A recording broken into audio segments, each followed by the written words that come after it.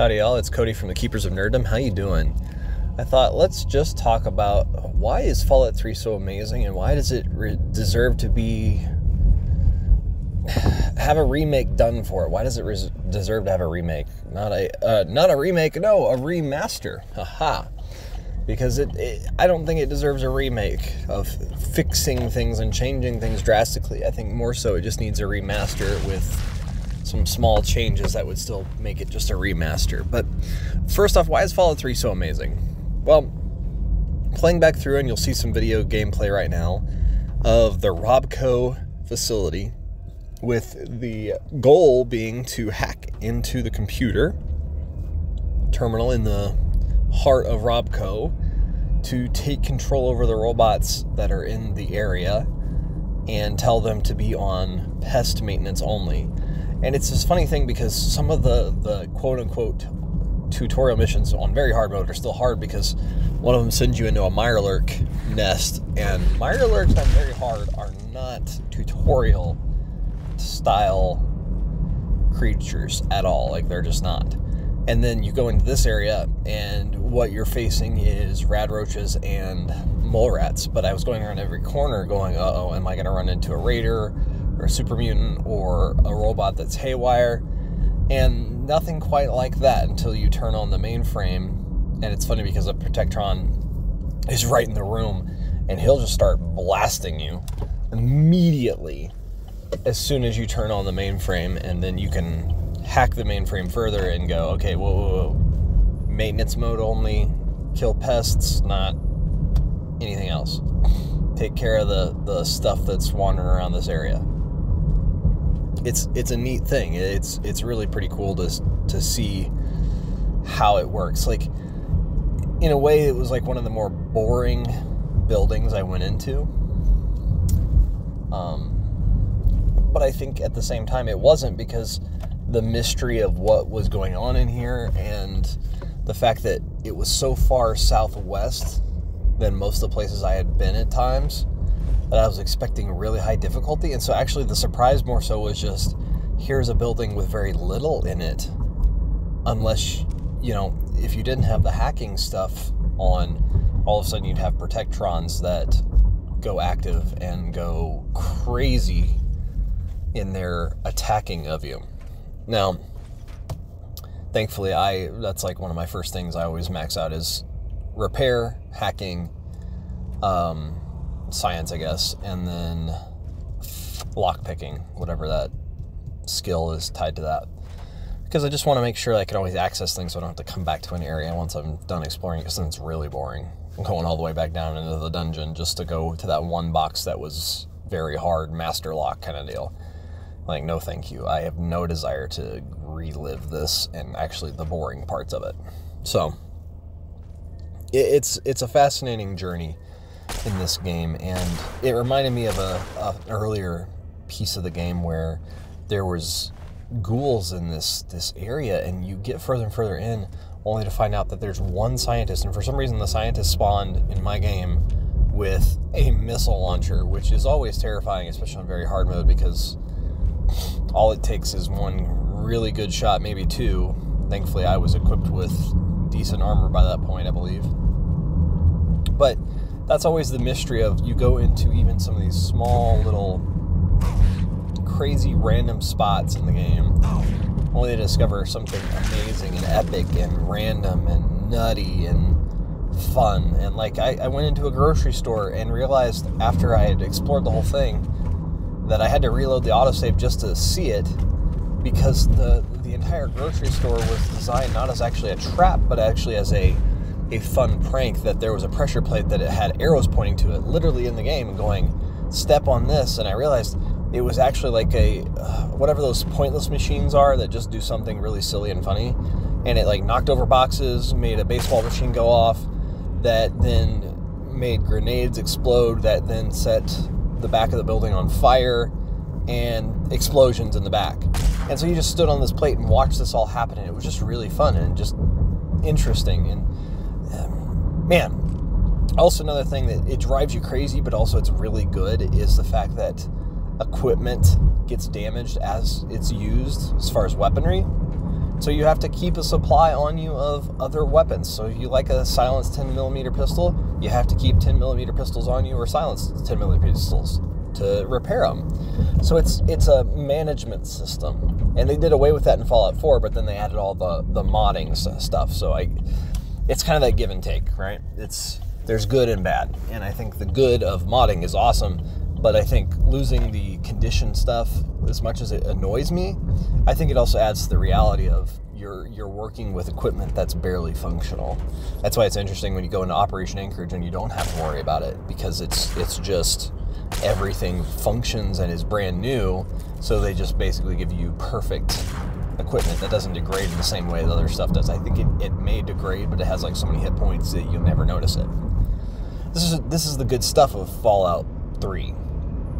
But wow, uh, replaying it though, sometimes my eyes really struggle with focusing on things because you start to realize just the graphics of today versus the Xbox 360, you get used to it after playing it, and I'm fine. But at the same time, there's moments where I look away after a little bit and I go, "Wow, my eyes are trying to focus on something, and there's not enough graphical stuff there to see."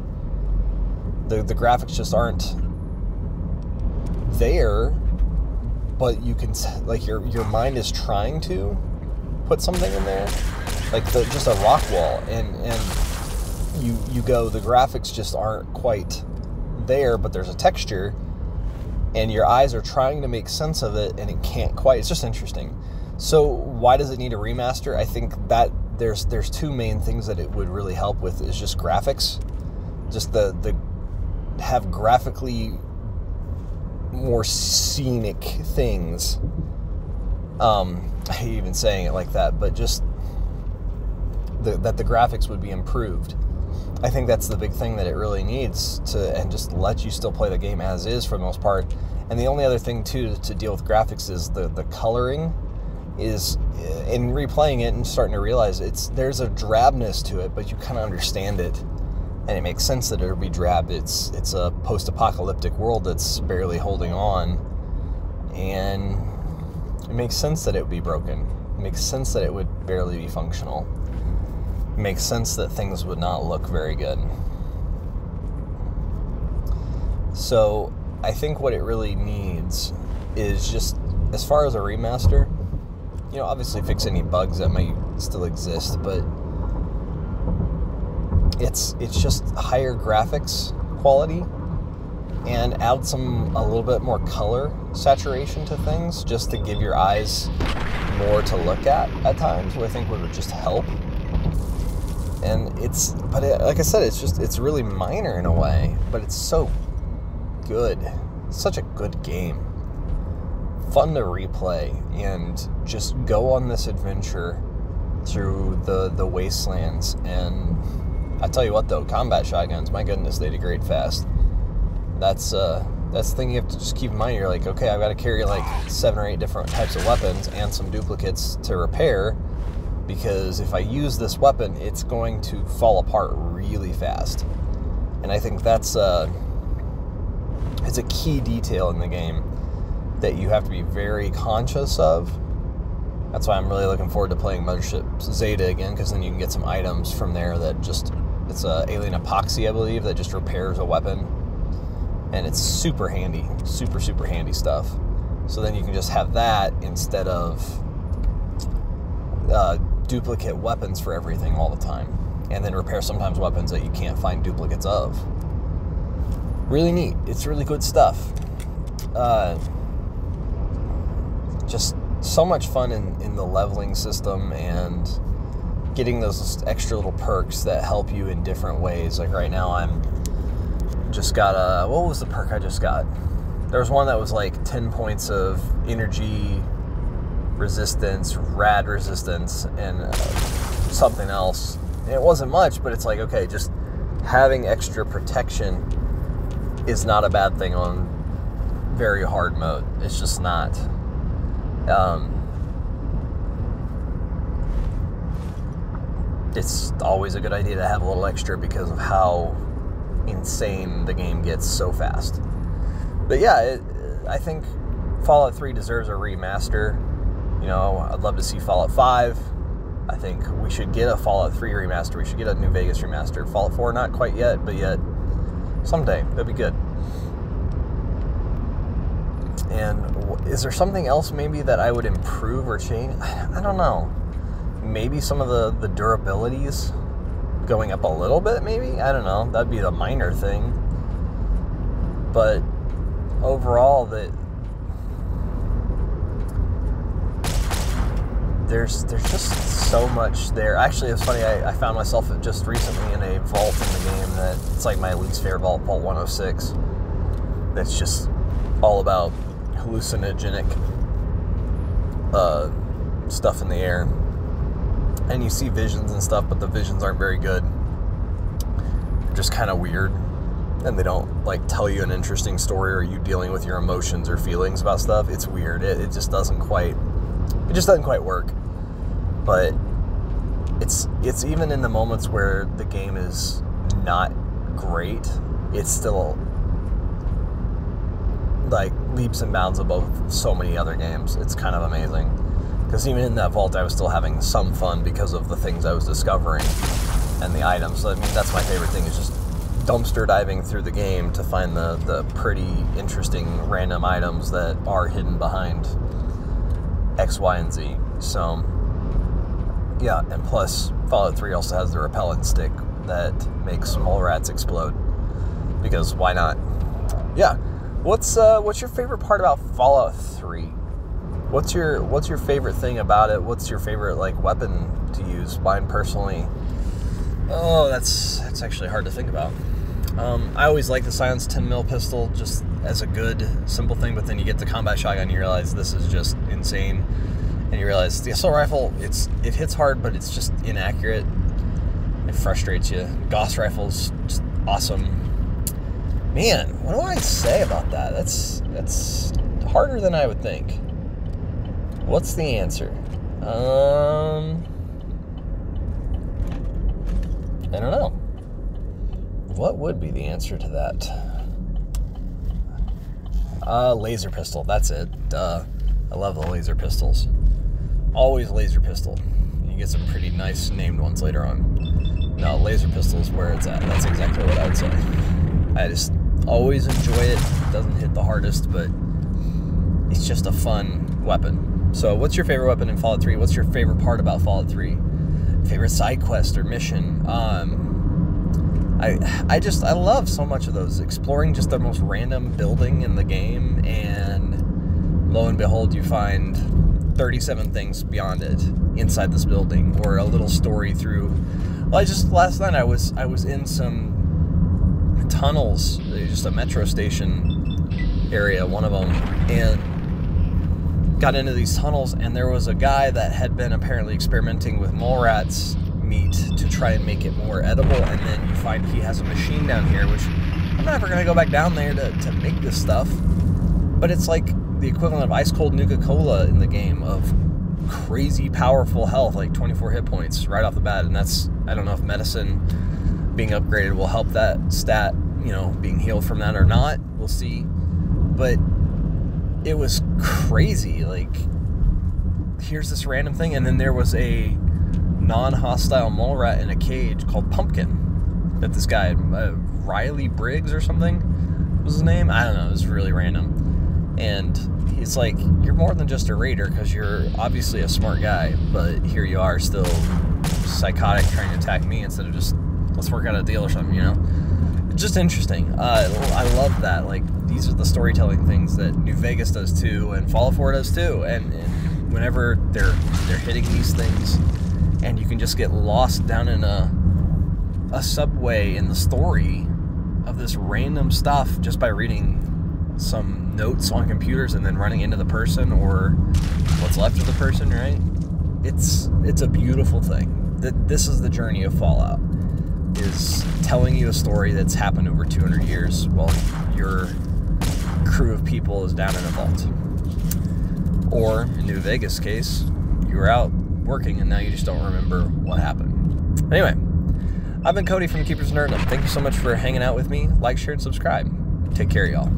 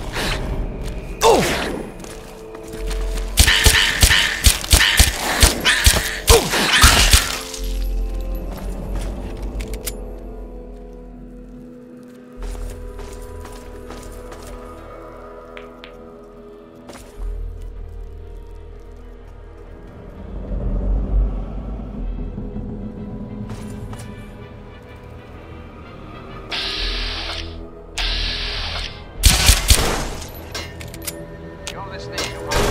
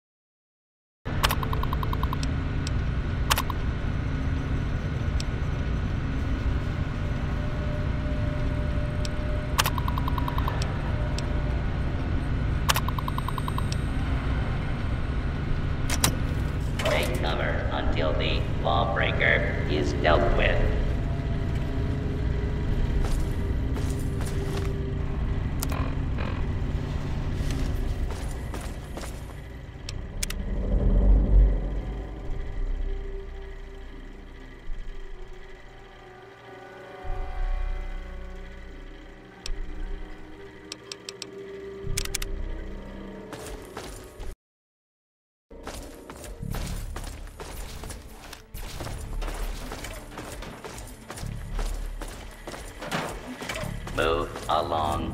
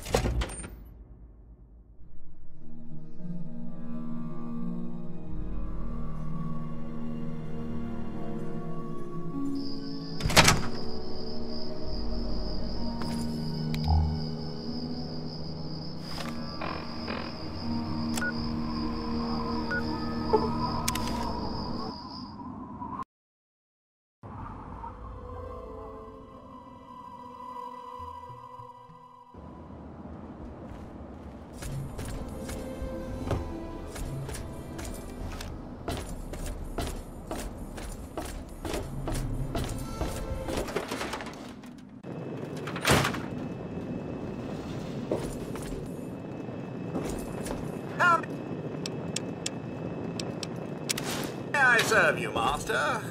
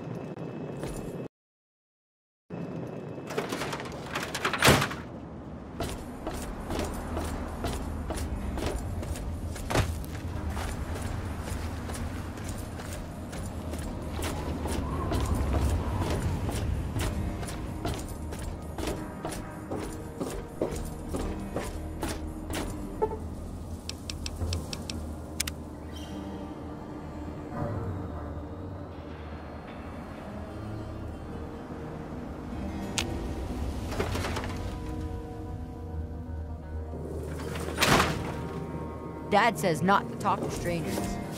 Fiddle with any interesting. Harnessing the.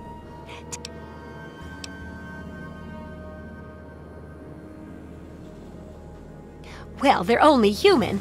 Or, uh. Seems like. Yes.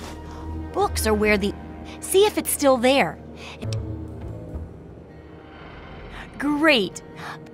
If you can't get those, then even the card catalog would be.